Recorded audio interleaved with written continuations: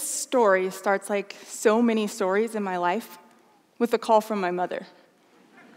On this particular day, she was calling to tell me about an epiphany she'd had about a young woman that works for her that she'd been having a difficult time, let's say, relating to. The epiphany went something like this Honey, she's a millennial. You know how they can be, right? I pause so my confusion can breathe. And then I remind my mom Mom, I'm a millennial. So is my brother. Your boss? oh, honey, you're different, she says. You're not entitled or spoiled at all. I wanted to agree with my mother about my lack of entitlement in that moment. But then I remembered I needed her to drop off that dress she had just sewn for me because I never had to learn how to sew. I hang up the phone and I am perplexed. I am perplexed that a woman who has raised three successful millennials could so quickly jump on the criticism train. And I am perplexed because I have had this very conversation so many times in my life. Take my coworker who's complaining about their millennial employee until I go, hey, I'm a millennial. To which they respond, oh, you're different. You're a leader, you're mature, you're an old soul. you know it. You're different. So maybe I am different. I decided I would do a little research to prove that I must be better than the run of the mill millennial. And a little research turned into a lot of research. I read article after article and research paper after research paper, and here's what I discovered. Not only am I a millennial, I'm a super millennial. I'm like an 11 on a scale of 1 to 10 of the characteristics that make up my generation. So, what is it? Why, when I remind people of my millennialism, do they counter my argument with anecdotes about maturity and leadership as if being a leader and being a millennial are mutually exclusive? And then it hit me. If most people think that being a leader and being a millennial cannot coexist, maybe they assume I must be different because they're judging me through a filter of leadership first and millennial second. For context, I've held high level leadership positions for much of my career.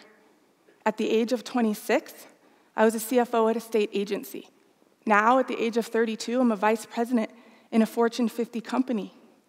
So while I had set out on this research journey to prove that to be a great leader, a millennial must be uniquely different than the average, what I found is that it's the characteristics of the average that make a great leader.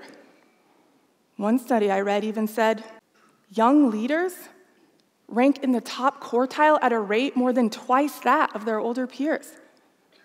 And so I wonder were millennials raised to lead?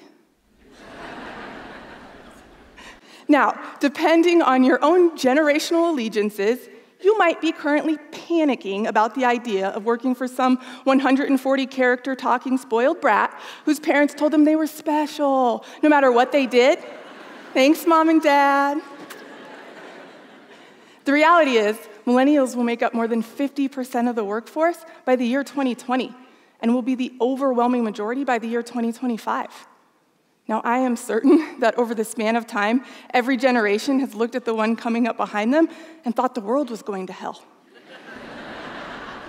but somehow, my generation has become the most studied in history. I think this is because we are quickly becoming the majority in the most multi generational workforce in history.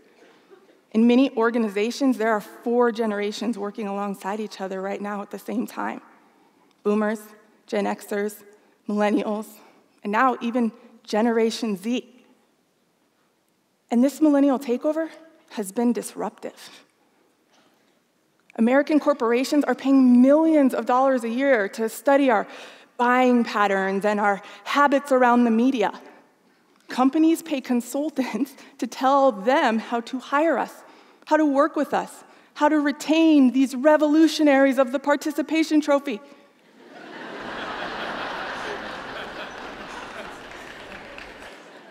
And with this heightened awareness has come many criticisms and stereotypes that some of you might be familiar with. One common stereotype is that us millennials cannot put down our damn phones. I'll admit, it is the last thing I check at night. It's the first thing I check in the morning, even before getting out of bed. But some people think that means that we are disengaged or disinterested in the real world outside of our technology and social media and the immediate gratification of people liking what we're doing, what we're wearing, what we're eating. But what those people are forgetting is that we were the first generation to be technologically connected. And with this connection comes great possibility. It is an asset to be connected to a global market you can leverage quickly for answers to questions you might have about your business. Brian Tracy, who is a respected leadership trainer and author, said, Leaders have the ability to anticipate trends well in advance of their competitors. They're continually asking themselves, based on what's happening today in the market, where are we going? Where are we likely to be in three months and six months and one year and two years? For me, if I need to test an app or a promotional idea that we're thinking about, I get to go to Facebook and ask my many very close friends what they think. For a quarterly book club I do with my staff, I can just hit Twitter to get recommendations on the best new reads. I have access to perfect strangers who I can leverage to ask questions I am sure I would have never thought of. When leveraged wisely, social media is like this powerful, internationally connected executive coach, free of charge. Technology has made our generation smaller than the preceding generations. We see the world as accessible, and we leverage this accessibility across a powerful network to help us think strategically, to anticipate trends and how those trends might affect our companies. It's this connection to our great networks in the sky that we can pair perfectly with the leadership mentality that we possess of collaboration. A Gartner research study found that millennials are naturally collaborative. We were raised with these schedules that were packed full of team sports and hours of team events. What was playtime to a Gen Xer became the play date for a millennial. We were brought up being taught that you work alongside others to solve problems. On the contrast, that same Gartner research study found that Gen Xers and boomers actually valued working individually. The stereotype goes millennials need others to do work we should probably be able to do ourselves. This is one of the stereotypes that I'm saying is furthest from the truth. And the leadership publications agree with me. Leadership publications say collaboration is a highly valued characteristic in today's leader. The Harvard Business Review says great leaders must leverage the strengths of their teams to create an environment that is collaborative and flexible so that people want to work together to achieve organizational outcomes. And millennials, we're wired this way. When used properly, we can be naturally collaborative leaders who understand how to use the strengths of people to build successful teams. It's this mindset of collaboration that often challenges the traditional career journeys, which are heavily reliant on tenure and individual success. Well, millennials are less concerned with hierarchy or even our own role within a hierarchy. This brings my favorite stereotype entitlement. the truth is, we are less concerned with pay and status than previous generations. And we're actually disillusioned by these structures that emphasize title and tenure as being important to become a decision maker. You see, we report that our parents included us in decision making throughout our childhood at a much higher rate than any other generation. On the contrary, studies show that Gen Xers and boomers value a more of a control and command management style and that they see their bosses as the experts. Millennials do not attach any one person in a hierarchy to having all the answers. But think about it. We've been able to quickly get answers to our questions our entire lives with devices that we hold in our hand. This means we look at knowledge and the path to gain it differently. We've been able to disconnect from the idea that time on job is a necessary part of the formula to gain the knowledge you might need to be an effective leader. I recognize that this is incredibly frustrating for some Gen Xers who have waited their seat for their seat at the table, or for some boomers who built these tables and then established all the rules for us to gain entry. Equally as frustrating is that we reject traditional motivation tactics like pay increases and bonuses. Stereotype goes that we're unmotivated or that we're disloyal to companies. We are not unmotivated. We are motivated differently. We find our loyalties in the purpose of the work that we do for a company, not necessarily in the company itself. 30% of millennial managers said meaningful work is important. This compared to only 12% of Gen X and Boomer managers. An intelligence group study found that 64% of millennials said they would rather work for $40,000 a year doing a job they love than $100,000 a year doing a job they found boring. This might explain why we live with our parents at a higher rate.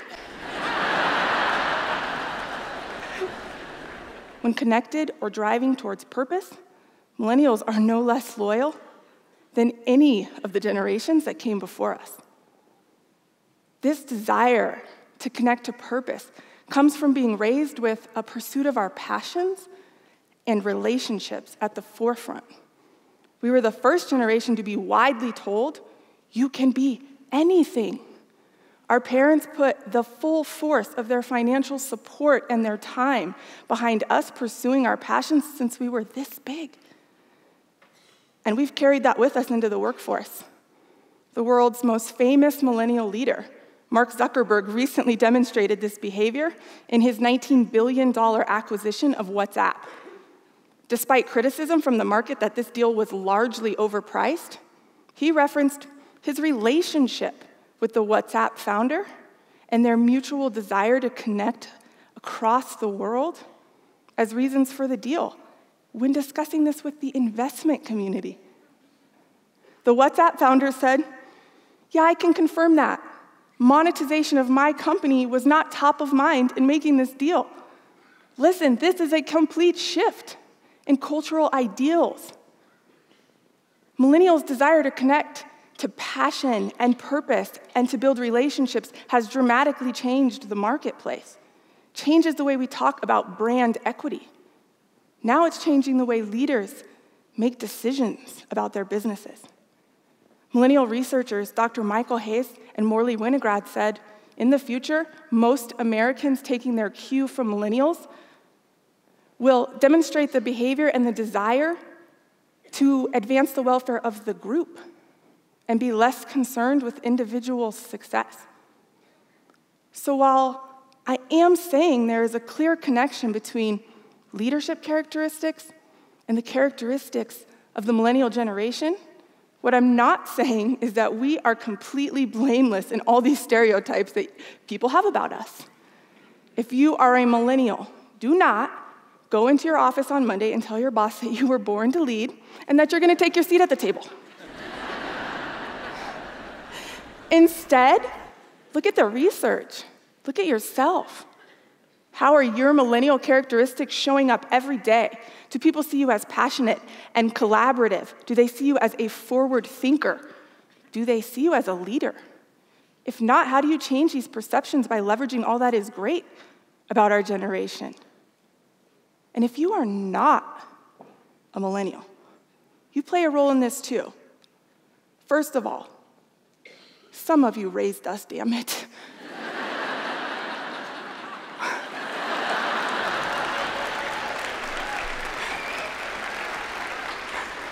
Take that conversation with my mom. She will excuse away all my entitled behavior as being not millennial. Are you too filtering your peers and your employees through this filter of bias about millennials? A Forbes article says millennial leaders will have a very difficult time gaining credibility with their peers because they are viewed as inexperienced and because of preconceived connotations. Are you also dismissing all the characteristics you like, or dare I say, admire about your millennial employees and coworkers as being non millennial so you can continue to justify these stereotypes? I think to get this multi generational thing right, we're all going to have to dig a little deeper. Now, maybe in the last 15 minutes, I haven't been able to convince you, even with my record 2,000 characters, that millennials are great leaders. Maybe all I did was convince you that you're gonna retire before we gain the majority share. Either way, millennials will make up the most of the leadership positions really soon. And as Hazen Winograd said, as millennials become CEOs or influence the fate of those who are, we will require that companies change their priorities so that we can bring them into alignment with the beliefs and values of our generation. I'll take it a step further and say to my millennial partners, let's bring leadership into alignment with the beliefs and values of our generation. Let's leverage all that is unique and wonderful about our generation to be tomorrow's next great leader. Let's continue to be taught by those who desire to teach us. Combined with our natural instincts, we're going to change leadership culture across the world. Thank you.